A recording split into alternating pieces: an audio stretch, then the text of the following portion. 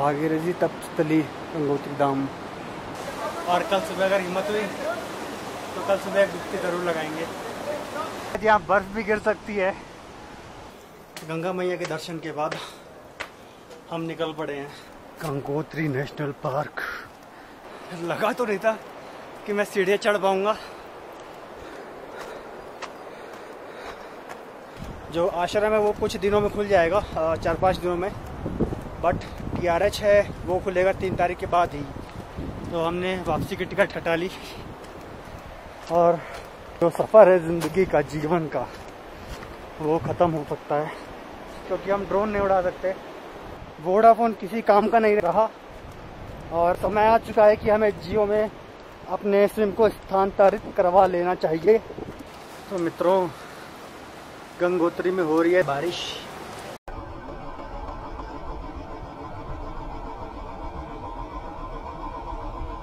Finally हम लोग पहुँच गए गंगोत्री और अभी हम जा रहे हैं गंगोत्री जी के मेन टेंपल में।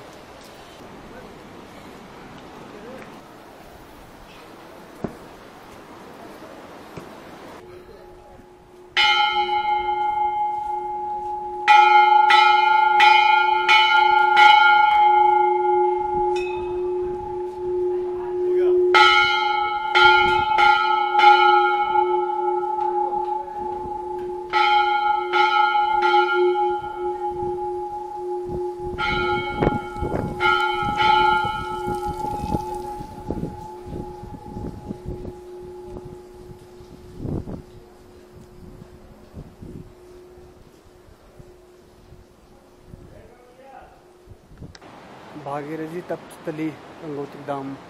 आई थिंक शायद यही वो जगह है जहाँ भागीरथी जी ने पूरी तपस्या की होगी। किसी ने दस दस रुपये के नोट फेंके हुए। लगभग साढ़े पाँच सौ किलोमीटर खींचने के बाद हम पहुँचते हैं गंगोत्री धाम। और यहाँ आकर पता चलता है कि जो बुजवासा का टीआरसी है और आश्रम है, वो बंद है। तो हमारा गौमुख ट्रैक का जो प्लान था, वो तो तराशाही हो चुका है। लेकिन कोई नहीं। और आप हमारे ठीक पीछे देख सकते हैं गंगोत्री माता का मंदिर। फ़िलहाल तो माता यहाँ नहीं है। वो मुखबा वहाँ पे शिफ्ट किया हुआ है। और जैसे ही कपाट खुलेंगे, उनको दोबारा से यहाँ ले आया जाया जाएगा।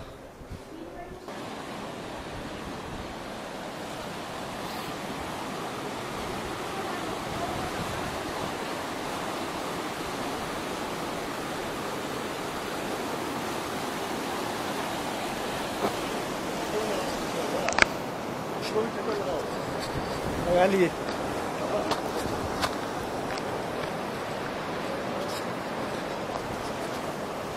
तो जो सोच के आए थे कि थोड़ा नहाएँगे, लेकिन पानी का टेम्परेचर बहुत ज़्यादा ठंडा है।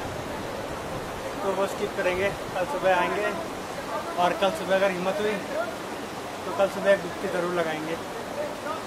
और फिर से वहाँ काले काले बादल आ रहे हैं। बारिश होने के आसार हैं। हल्की हल्की ड्रिजल हो रही है वैसे तो। बट बारिश होती है तो अगर लोकलाइट्स बोल रहे हैं कि शायद यहाँ बर्फ़ भी गिर सकती है, थोड़ी बहुत बर्फ़ गिरेगी तो अच्छा रहेगा। लेकिन अगर ज़्यादा बर्फ़ गिर गई तो हालत टाइट हो जाएगी, क्योंकि रास्ता आप देख ही चुके हैं कि आने का कैसा है और वही रास्ता हमें जाने के लिए भी चाहिए। गंगा मैया के दर्शन के बाद हम निकल पड़े हैं नेशनल पार्क जा पाते हैं कि नहीं? क्योंकि रास्ता मुझे थोड़ा गड़बड़ गड़बड़ लग रहा है। वाला।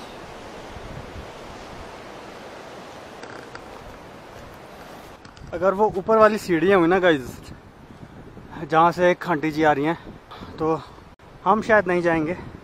हम वापस सूरज कुंड निकल लेंगे और होटल में जाके आराम करेंगे आज। तो बोलो, जय गंगा मैया की।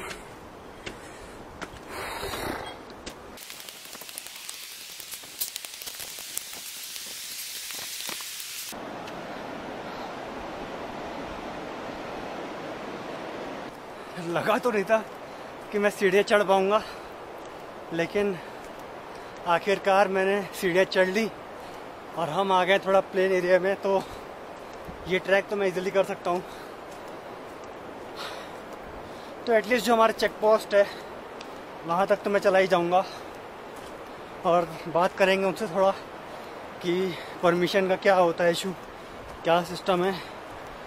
लेकिन जैसा कि मैंने आपको बताया कि गौमुख अब जा नहीं सकते क्योंकि भुजवासा बंद है। बंद इन द सेंस जो टीआरएच है और जो आश्रम है, वो फ़िलहाल बंद है। तो वो पॉसिबल हो नहीं पाएगा क्योंकि एक दिन में मैं कवर कर नहीं पाऊँगा।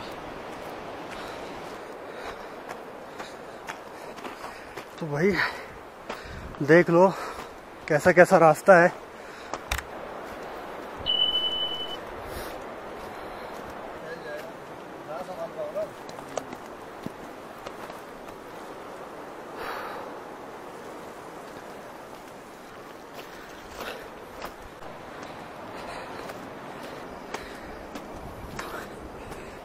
तो फाइनली हम लोग थक हार के आगे गंगोत्री नेशनल पार्क आप भी सीसीटीवी कैमरे की निगरानी में हैं।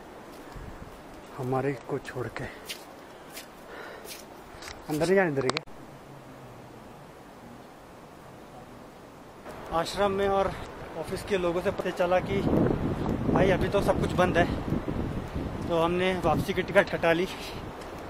और जैसा कि मैंने आपको पहले बताया कि अब गौमुख ना होके हम जाएँगे गर्दंगली और नान वैली आई थिंक तो अभी अभी यहाँ से वापस जा रहे हैं गंगोत्री धाम के मंदिर की तरफ़, जहाँ हमारा है आज का स्टे और एक चीज़ और गई कि अगर आश्रम और जो टीआरएच है, वो अब तक खुला नहीं है तो जिसकी वजह से जाना बहुत ही मुश्किल है। आपको कोई ना कोई ट्रैकिंग वाली कंपनी करनी पड़ेगी जो अपनी टेंट्स भिजवाएगी और वो काफ़ी ज़्यादा कॉस्टली होगा। तो जो लोग ट्रैक करना चाहते हैं, मैं सजेस्ट करूँगा कि वो थोड़ा जब मंदिर के कपाट खुल जाए, तभी आएँ, तभी थोड़ा सस्ता पड़ेगा उनको और टीआरएच और जो आश्रम है वो खुल जाएगा। गेटवे के पास जो जी है इन्होंने बताया कि जो आश्रम है वो कुछ दिनों में खुल जाएगा चार पाँच दिनों में बट टीआरएच है वो खुलेगा तीन तारीख के बाद ही। और अभी मैं बता दूँ कि अभी चल रहा है, आज डेट है 16 फरवरी। तो 16 फरवरी यानी बीस फरवरी के बाद बाद आप आएँगे। तो जो भोजवासा और चीरवासा में जो आश्रम है, वो आपको खुले हुए मिल जाएँगे और आप इजीली ट्रैक कर सकते हैं। अदरवाइज़ थोड़ा चांसेस हैं कि आप ट्रैक ना कर पाएँ। आपको फिर ट्रैकिंग कंपनी हायर करनी पड़ेगी। मैंने कई लोगों की वीडियोस देखी, लेकिन उसमें एक बहुत ही मेजर चीज़ उन्होंने मिस की कि वो किस टाइम जा रहे हैं। कहीं वीडियो में लिंक नहीं था तो मैंने सोचा कि आप लोगों को बता दूँ कि आज ये जो आ, मैं ट्रैक के लिए गया प्लान किया था और मैंने सोचा था या जो जानकारी मैंने इकट्ठा की वो किस डेट की है और जो सही डेट होगी ट्रैकिंग की वो क्या हो सकती है ताकि जिसको करना है तो वो आराम से आके कर सकता है। बाकी कुछ भाई लोग तो ऊपर ही रुक गए जो महादेव जी का आश्रम था वहाँ पे। और लेकिन हमने अपना होटल नीचे बुक कर दिया है तो हम तो भाई नीचे ही जाएँगे। हम्म, हमें नीचे ही जाना पड़ेगा। अदरवाइज़ अगर हमें पता होता पहले से तो शायद हम भी यहीं रुकते क्योंकि एक रिमोट आश्रम में रुकने का आनंद ही कुछ और होता है। और आप देख रहे होंगे कि भी मैं नीचे देख, ज़्यादा देख रहा हूँ और ऊपर कम तो रास्ता कुछ ऐसा था।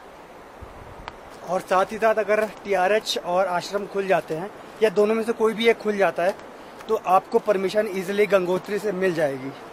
लेकिन अगर गला ख़राब हो रहा है, लेकिन अगर ये दोनों ही बंद हैं तो फिर आपको परमिशन जो है उत्तर काशी से मिलेगी। और वो परमिशन आपको दिलवाएगी ट्रैकिंग कंपनी ये बहुत ही इम्पोर्टेंट इन्फॉर्मेशन है। जो मैं आपको बता रहा हूँ। ऐसे इलाकों से आपको जल्दी से जल्दी निकलना है, क्योंकि छोटा मोटा पत्थर कभी भी आ सकता है। और जो सफ़र है ज़िंदगी का, जीवन का, वो ख़त्म हो सकता है। मुझे उम्मीद नहीं थी कि मैं पूरा कर पाऊँगा कि दो किलोमीटर का स्ट्रेच लेकिन फाइनली गंगा मैया के आशीर्वाद की वजह से ही ये मैं पूरा कर पाया। और सामने क्या शानदार व्यू है गंगोत्री का।